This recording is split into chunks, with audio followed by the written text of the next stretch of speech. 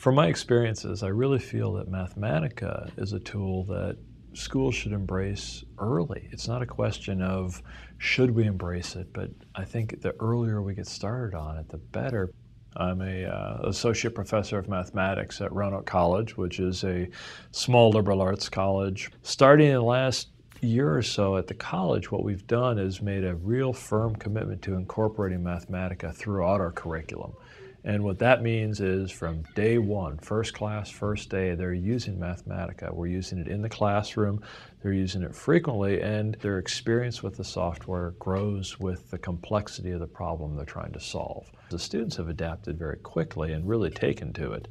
So in a given lab, what these students will be doing is working through an entire notebook where I will start out with some introduction. They'll be doing some Mathematica calculations, just evaluating stuff that I may have typed in so they can see how it works. But the progression in complexity is as they work through the lab, then what they're doing is writing their own Mathematica commands, creating their own plots.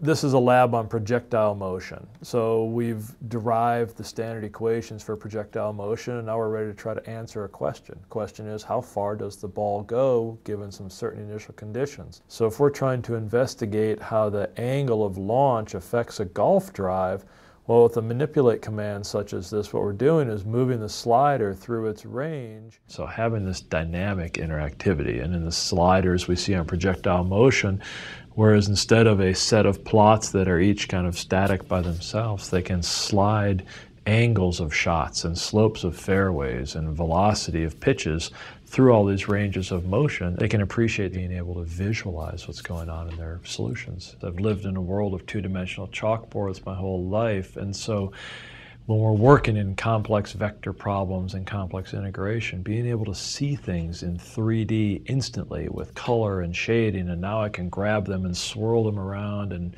look from whatever viewpoint has made a huge difference. We can understand concepts with reasonably simple examples, but then using the capabilities of Mathematica, we can immediately work with harder examples, more interesting problems that if we were just pencil and paper by hand, we couldn't even tackle them because we just couldn't get through the problem in 60 minutes or whatever time they had. So no, I'm not going back.